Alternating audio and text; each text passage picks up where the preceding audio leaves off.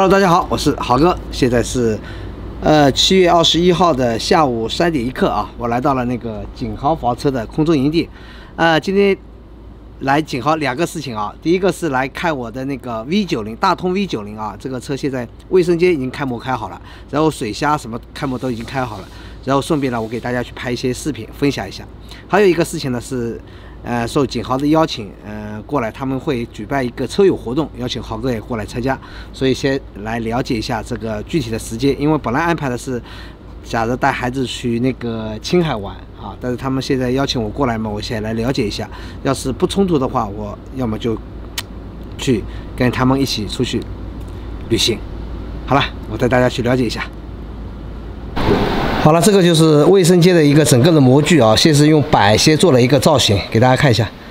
这个就是赛德福德的抽拉式马桶，然后这个地方是一个花洒的，就像家里一样一个花洒的一个呃喷头啊，然后这个地方是一个洗脸盆，然后下面是一个呃小的一个呃小门啊维修口放放东西，然后这个地方嘛就是一个储物柜啊，这样储物柜。整体系数啊，做出来就是尽量就可以在房车上放心使用，不会漏水。但是也是分段的啊，它不是一块整个的啊，它是分好几段组装上去。啊，大致的一个概呃一个一个雏形已经出来了啊。然后下面是是下沉式的一个一个一个玻璃膏啊，这样踩在上面也舒服一点。这个是排水口啊，排水口啊，整体的一个造型都已经出来了啊。这是大通 V 九零里的一个一个造型。跟大家分享一下啊，尽量是洗脸盆跟洗澡的要分开啊，哎，千万不要买那种，呃，脸盆的喷头跟洗澡的龙头是一个的，这是几年以前的这种做法，而且在洗澡过程中会很不方便，这个龙头拉上拉下会很不方便，个子高的话还够不到啊，我觉得这样分开的设计是最合理，而且最好用，也看上去也档次会更高一点，啊。好了，我们顾部长已经把那个喷头的一个一个固定架拿过来了，就大致固定一下就行。啊，也就是在这个地方会有一个放放放一个淋淋浴淋浴池，未来的一个淋浴的花洒啊，花洒啊，这个这个就是还是放那个之前的啊肥皂盒啊之之类的啊，就是在这个地方洗澡啊，这个地方往这边抽水啊，整体是整整体就是这样，整体块。这里还有一块板，因为这个是后装嘛啊，对，这里有一块板，所以未来。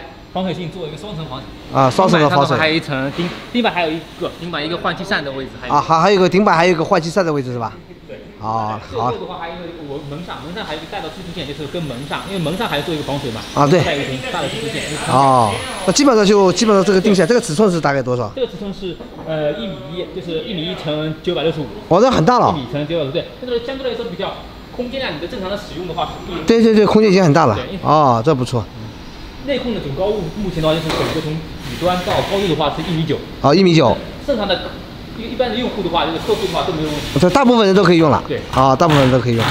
好，马桶呢就是这个位置了，对吧？啊，这个地方还是像像之前也会有一个门吗？对对，会有一个门。会有个检修啊，对检修口。这里是做了一个木模。啊，木模，对对对对。开模的话要做个木模，未来的话，首先第一个对于细节上的一些装配，对，核准一下，之后对对对，实际情况，未来的话开模之后可以一些，呃，开备一些装配件可以提前了解一下。对对对对。啊，那基本上这个模型做出来就开始开模了。来的话可以看，基本上做出来效果就是这样的。啊，对，可以的，这个我还挺满意的。我一定要这里要分开的，呃，花洒跟龙头一定要分开，这样才更更符合现在使用现在人的使用的这种习惯。好，谢谢谢谢，顾部长也辛苦了。这个目前的话就是我们 V 九零的一个负量的骨架，对，因为这边我们用的是五十乘五十乘五毫米的一个镀锌管，镀锌管呢一它对未来防腐效状态下更好，其次呢我们五五毫米厚度，保证未来负梁的结强度结构更加安全稳定。五毫米，对，五毫米，五毫米厚度，很厚，对，很厚。所以下面这里看到的是一个，这是一个折弯件，折弯件的话。这这个上面孔是跟大梁底板上的孔，就是我们大梁是底板直接不切割嘛，所以不需要不需要改制。其实呢，我们通过每上每个孔位跟底底盘上的孔位进行连螺栓的连接，再到整个强度不做一个保证。其实很多这个上面二十乘四十的镀锌管是未来整个一些储物舱的结构和水箱的一些吊装的结构提前做一个连接的预埋件。嗯，你像这个每个每一个折弯件都是对应的一个底盘上的折弯件，折弯件相对应。这厚度确实很厚，对，五毫米。嗯，这样的话，我未来的这两边的一个扭动性啊，保强度更高。啊，强度会更高，有些整个就是复梁的结对，这个构了复梁的结构，这就是基本上做好了。哦，也就是这个是是进门的位置吗？嗯进门的位置对，那边进门的位置，嗯对吧？对。然后那个外机能放得下吗？这个地方我感感觉小哎。我我看这里应该是外机，应该是在，应该是在那边。这个这个反过来。哦反过来的这个那个是没对，反过来那反过来那那边哦是前面，那个是那个是他们哦，那是那是那是前面。哦，对，那是前面你反过来的，对对对对对对对。骨架的话，我们啊那边也够了那差不多差不多处理，明天开始上骨架。啊，明天就上骨架了所。以你，豪哥你可以稍微晚一点走。我在我今天不走，对，明天可以晚一点。啊，我明明天晚一点走，我今天要拍点视频。明天可以晚点，明天我们到时候对正正好，明天晨会我们聊看一下，之后晨会之后我们就是立马上底盘，你可以看一下我们底盘的安安装过程，先看一下。对对对对对对，好，这个就是复梁已经复梁已经做好了。对，基本上做好，再再啊师傅再处理一下。好好好好，做一层防水处理，对，还有做做做镀锌防防锈处理啊。打钛金点之后再做一层防护，啊，对对对对。基本上都是好了，我们现在去看一下水箱呗，水箱都到了吧到了。？OK。好了，我们现在去看水箱啊。这是啊，这就是水箱。水箱，这是里面的，这是整个我们现在清水箱有几个清水箱？清水箱有两个，两个清水箱啊两个清水箱，。对，两个清水箱。啊，一个是这个这是副副的，这是这是主的，这是副的，副清水箱，两个合起来大概有多少升？大概在二百二十升。二百二十升左右。嗯哦。那这边这边不是啊？这边是另一个，这是灰水箱。哦这个就是挂在那个，呃，就是踏步后侧的一个。对对对，灰水箱我们有多大？灰水箱的话，差不多在嗯五十升左右，啊，五十升左右。这个是两个合起来是二百二百二。二百二啊，那个 V 九零的二百二也可以的。目前的话，就是我们的连接方式。现在的话，啊整个下水口啊，就是现在下水下水端，这是我们下水管，全都是通过做往下一个弯向，这边最下端。对对对觉得未来未来整个排水呀，或者整个把水取水啊取水对取水点都是最低端。对未来的话，整个水箱的抽空的状态是最好的。对，这也不会感觉就是水老是放不干。对对对，因为啊你现在整个取水点啊，嗯取水永远是最低点，因为这个点是最低点。对这个点低于我水箱的最下端，就这整个水箱的这一块就超对永远最低点是都是这块。这样的话，你水排水啊、放水啊，然后里面的用水不会就是我抽光了什么里面还有水，对，就不会存在这个情况了这。个问题。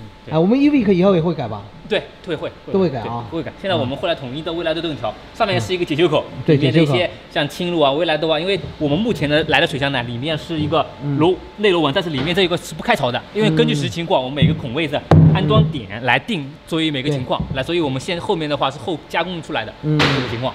对未来的，因为开完之后呢，可能在运输过程中你没有进灰尘，对清除起来相对来说比较麻烦。对，所以我们这上面有个解决口，未来的话，因为客户如果提前安装的时候，后期的话进行维修或清理，对对对对，水垢啊，对，嗯，这个就是 PVC 材质，食品级的对，食品级的，啊，食品级 PVC 材质啊，对，好了，这个还是挺大的，两个合起来两百二十五升对啊，，这是另一个水箱，对，另一个水箱可以。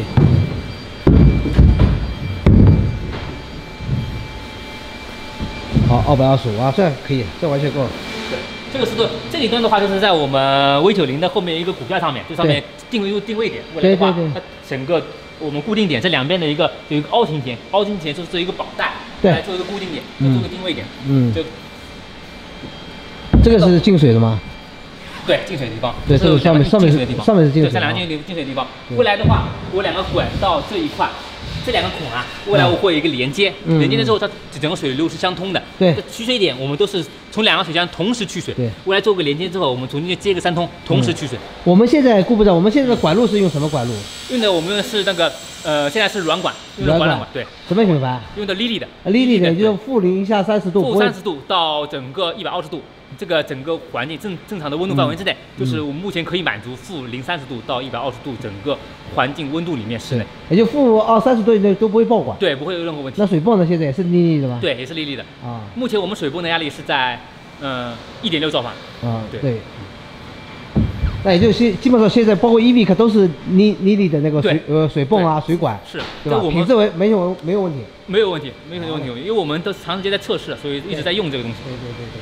好，好，谢谢顾部长。